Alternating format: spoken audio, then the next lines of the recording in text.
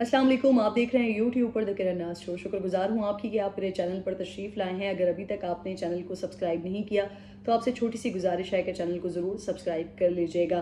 गज़ा के हवाले से, फ़लस्तीन के हवाले से, रोज़ाना की बुनियाद पर जो दर्दनाक मनाजर सामने आ रहे हैं, जो तकलीफ़ दे खबरें सामने आ रही हैं, वो नाकबिल बयान है। और जो लोग वो महसूस कर रहे हैं, जो वो लोग उस सारी सिचुएशन से गुजर रहे हैं उनका तो हम तस्वुर भी नहीं कर सकते। बड़े मुश्किल हालात हैं, बड़ी तकलीफ़ दे सूरत हाल है। इस वक्त जो ख़बर मैं आपको देना चाह रही हूँ, जो देने जा रही हूँ, उसने रोंगटे खड़े कर दिए हैं और यकीनन तमाम मुसलमान जो शायद हम बैठकर कुछ नहीं कर पा रहे हैं उनके लिए, लेकिन उन तमाम मुसलमानों के लिए, उन तमाम इंसानों के लिए भी, इनफैक्ट जो इंसानियत रखते हैं अपने अंदर, जो वाकई इंसान कहलाने के हकदार हैं, उनके लिए भी बहुत अजियतनाक और बहुत तकलीफ़ दे ये सारी ख़बरें हैं, ये सारे मनाजर हैं, ये सब कुछ सुनना है। ये वॉइस ऑफ़ अमेरिका की एक ख़बर है, जो कि मेरे सामने है और ये मैं आपको बताती हूँ कि इस खबर में क्या है। खबर में यह है कि इसराइल और हमास में सात अक्टूबर से जारी जंग में, गज़ा के अस्पतालों में अद्वियात और ज़रूरी तबी अशिया की शदीद कमी है, जबकि बमबारी के सबब ज़ख्मियों की तादाद में मुसलसल इजाफा हो रहा है। सूरत हाल बदतरीन हो चुकी है। जो असल इसके अंदर ख़बर है वो ज़रा गौर से सुनिएगा, वो बहुत दर्दनाक है, बहुत तकलीफ़ दे खबर है।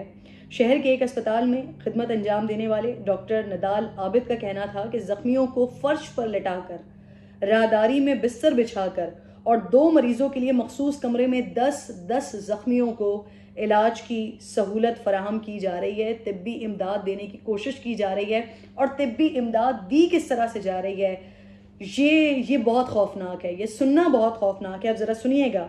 कि वो क्या बता रहे हैं? वो बता रहे हैं कि ज़ख्मियों के लिए पट्टी या बैंडेज दस्तियाब नहीं है, जिसकी वजह से कपड़े की पट्टियाँ इस्तेमाल की जा रही हैं।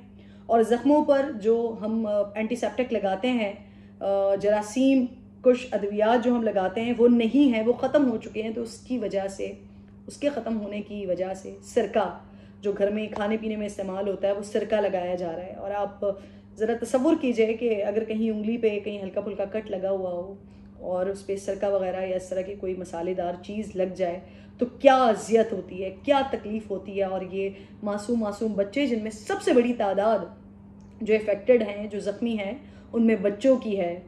उनके ज़ख्मों को कि उसमें कीड़े ना पड़ें, वो ज़ख्म तबाह बर्बाद ना हो जाए, उस ज़ख्म की वजह से बॉडी आगे मज़ीद इन्फेक्शन का शिकार ना हो जाए तो उस ज़ख्म को वहीं पर रोकने के लिए सरका लगाया जा रहा है। फिर वो मज़ीद बताते हैं कि टांके लगाने वाली मखसूस तिब्बी सुइयों की जगह कपड़े सीने वाली सुइयों का इस्तेमाल किया जा रहा है। सुन करने के लिए कुछ नहीं है। डायरेक्ट अगर कोई जख्म, अगर जिसम का कोई हिस्सा कटा हुआ है, फटा हुआ है तो डायरेक्ट सुइयों से जो कपड़े सीने वाली सुइयाँ होती हैं, उससे इंसानी जिसम को सिया जा रहा है, उन जख्मों को बंद किया जा रहा है। ये बहुत अजियतनाक बात है। ये बहुत बहुत तकलीफ़ दे बात है। और सोचिए कि उसमें हर उम्र का इंसान उसको इसी तरह से ट्रीट किया जा रहा है। सुन करने के लिए कोई दवा मौजूद नहीं है। अगर खुदा ना खास्ता किसी को ऑपरेशन की ज़रूरत है एनसीजिया के लिए कोई दवा मौजूद नहीं है अगर आ, किसी का ज़ख्म जो है वो उसको एंटीसेप्टिक उस पर लगाना है उसके लिए कोई दवा मौजूद नहीं है। तो जो घरेलू टोट के पुराने ज़माने की बड़ी बूढ़ियाँ जो हैं वो बताती हैं वो आज एक जंग ज़दा माहौल में छोटे छोटे मासूम मासूम बच्चे कहीं नौ मौलूद बच्चे हैं कहीं दो साल पाँच साल छः साल दस साल के बच्चे हैं कहीं हामला औरतें हैं, कहीं बुज़ुर्ग हैं, उन तमाम को इस तरह से ट्रीट किया जा रहा है कि अगर उनके जिस्म का कोई हिस्सा कट गया है फट गया है तो उसे कपड़े सीने वाली सुइयों से और डायरेक्ट किया जा रहा है ये सब कुछ। उसको सुन भी नहीं किया जा रहा। ना इंसान को बेहोश किया जा रहा है क्योंकि है ही नहीं कोई कोई चीज़ ही नहीं है उनके पास। कैसे किसी इंसान को बेहोश करें? कैसे उस जगह को जहाँ पर वो टांका लगाना है, उसको कैसे सुन करें? उनके पास कोई ऐसी चीज़ मौजूद नहीं है। तो जो भी कुछ हो रहा है जान बचाने के लिए भी जो कुछ हो रहा है तो वो इतना अजियतनाक है कि वो पहले ही जान निकाल दे इंसान की। गजा की अस्करी तंजीम, हमास ने सात अक्टूबर को इसराइल पर ज़मीन, फ़ज़ा और बहरी रास्तों से एक साथ अचानक और गैर मुतव हमले किए थे। इन हमलों में चौदह सौ से जायद इसराइली हलाक हुए थे। हमास के हमलों के जवाब में इसराइल ने गजा की मुकम्मल नाकाबंदी करके बमबारी शुरू कर दी थी। तो यू कैन अंडरस्टैंड कि ये मैं वॉइस ऑफ़ अमेरिका की खबर पढ़ रही हूँ तो यहाँ पर हमें इस तरह की खबर भी ऑब्वियसली ये सारी चीज़ें भी यहाँ पर मिलेंगी। दो हफ़्ते से जारी नाकाबंदी और बमबारी से गजा में अशिया ज़रूरिया की किल्लत है, जबकि अस्पतालों में इलाज का निज़ाम तबाह होने के करीब है। गजा लगभग दो हफ्तों से ईंधन, बिजली की फराहमी और खुराक की अशिया समेत दीगर जरूरियात की तरसील बंद है। जख्मियों और दीगर बीमारों के इलाज में इस्तेमाल होने वाले सामान के अलावा साफ़ पानी भी वहाँ पर नहीं है। दर्द को कम करने और इन्फेक्शन से बचने के लिए बुनियादी अशिया खत्म हो गई हैं। अस्पतालों के जनरेटर्स के लिए ईंधन खत्म होने के करीब हो गया है। डॉक्टर नदाल मजीद कहते हैं, जो कि ये आलमी तंजीम है, उससे मुंसलिक हैं। उन्होंने अलकुद्स अस्पताल से खबर ऐसा इदारे एसोसिएटेड प्रेस से गुफ्तु में बताया कि तिब्बी अमले के पास हर चीज़ की कमी है, जबकि वो इस दौरान इंतहाई पेचीदा सर्जरियों से भी निमट रहे हैं। इसराइली फौज की तरफ़ से जुमे को मुताद तिब्बी मराकज खाली करने के अहकाम सामने आए थे, लेकिन इवैक्यूएशन के हुक्म के बावजूद तिब्बी मरकज अब भी सैकड़ों मरीजों, जख्मियों के इलाज में मसरूफ हैं। जंग और बमबारी से गजा की निसफ आबादी इस वक्त बेघर हो चुकी है, जिनमें लगभग दस हज़ार फलस्तीनी भी अस्पताल के अहाते में पना लिए हुए हैं। कि सब लोग खौफजदा हैं और जो डॉक्टर नदाल हैं, वो कह रहे हैं कि मैं भी खौफजदा हूँ। अलकुस अस्पताल के सर्जन डॉक्टर नदाल के बकौल, कोई रास्ता नहीं है कि हम यहाँ से निकल जाएँ।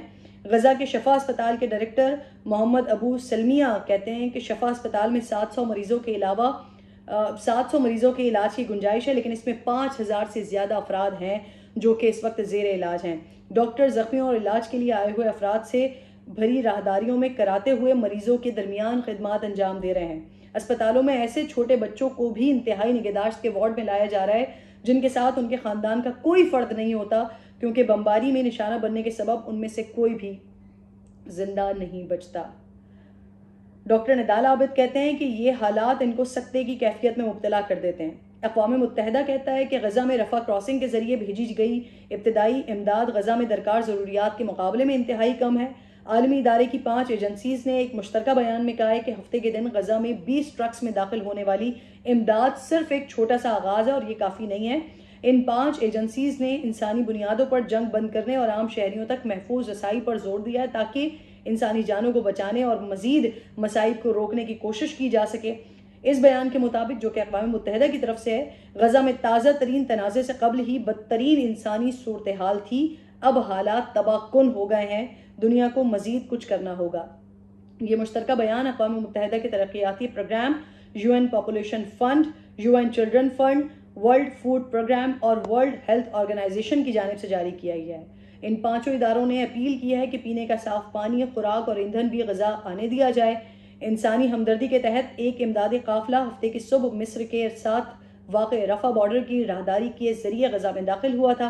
अमरीका के सदर जो बाइडन ने गुजशत हफ़्ते तलबीब में इसराइल के वज़ीर अजम बिन यामीन नेतन याहू से मुलाकात के बाद ऐलान किया था कि गजा में रफा के ज़रिए इमदाद की इजाज़त दे दी गई है। इसराइल कहता है कि इमदाद अस्करियत पसंद तंजीम हमाद के हाथ नहीं हमास के हाथ नहीं लगनी चाहिए। सात अक्टूबर को हमास के इसराइल पर हमले में जो लोग हलाक हुए थे, जबकि यरगमाल बनाए गए कई अफराद भी इस वक्त हमास के कब्जे में हैं इसराइल की गजा के मैसूर इलाके पर बमबारी में हज़ारों फ़लस्तीनी इस वक्त शहीद हो चुके हैं और जो रिपोर्ट्स हमारे पास आ रही हैं, तकरीबन तकरीबन चौदह हज़ार से जायद फ़लस्तीनी जो है, वो शहीद हो गए हैं और कई हज़ार बच्चे, नौमौलूद बच्चे इस वक्त इनक्यूबेटर्स में मौजूद हैं, जिनको ज़रूरत है कि हॉस्पिटल काम करे इनक्यूबेटर्स काम करें, लेकिन क्या कीजिए कि वहाँ पर ईंधन नहीं है जनरेटर्स नहीं चल सकते हैं पेट्रोल नहीं है जनरेटर नहीं चल सकते हैं तो आप सोचिए कि वो बच्चे जो इस वक्त इनक्यूबेटर्स में मौजूद हैं, उनकी ज़िंदगी उस ईंधन के साथ जुड़ी हुई है, जो ईंधन इस वक्त फ़लस्तीन में मौजूद नहीं है। इंतहाई तकलीफ़ दे सूरत हाल है बदुआ दी जाए इसराइल को नेतन याहू को, वहाँ के लोगों को क्या किया जाए, कुछ समझ नहीं आता। फ़लस्तीन को अपनी दुआओं में बहुत ज़्यादा याद रखिए और ये सोचिए कि ये वक्त हमें हज़रत बिलाल हबशी रदील्ला तहों की याद दिलाता है कि जब उनको भी मना किया जाता था कि आका सलाम के दीन पर नहीं चलना, उनको गर्म अंगारों पर डाल दिया जाता था, उनके जिस्म को अंगारों से दागा जाता था, लेकिन उसके बावजूद भी वो आका सलाम की मदसराई किया करते थे। आज भी यही हाल है। आज जो फ़लस्तीन के लोग हैं, उनको मना किया जाता है कि जो मकाम सजूद मुस्तफ़ा है, उस पर सजदा नहीं करना, उस जगह को छोड़ देना है, उनके घर बार को जला दिया गया है, उनके बच्चों को जलाकर भस्म कर दिया गया है, जो अस्पतालों में हैं, उनको भी ज़िंदा रहने की इजाज़त नहीं दी जा रही है। उनके लिए भी हालात ऐसे बनाए जा रहे हैं कि वो बस जल्द से जल्द उनकी और उनकी सांसों के दरमियान जो एक सिलसिला है, जो रिश्ता है, वो फ़ौरन से टूट जाए, जल्द से जल्द टूट जाए, लेकिन उसके बावजूद भी वो फ़लस्तीन बैतुलमक़दस की हिफाजत पर मामूर है और किसी तौर पर भी मकाम सजूद मुस्तफ़ा अलैहि वसल्लम को नहीं छोड़ रहे हैं। शहादत पे शहादत के रुतबे पर फाइज हो रहे हैं, मासूम मासूम बच्चे शहीद हो रहे हैं, लेकिन अपने मकसद को नहीं भूल रहे हैं। अल्लाह ताला फ़लस्तीनियों के लिए बहुत आसानी फरमाए हम अगर कुछ नहीं कर सकते तो कम अज़ कम उनके लिए दुआ तो कर सकते हैं। अपना और अपने मुल्क का ख्याल रखिए और फ़लस्तियों को अपनी दुआओं में याद रखिए। अल्लाह ने के बाद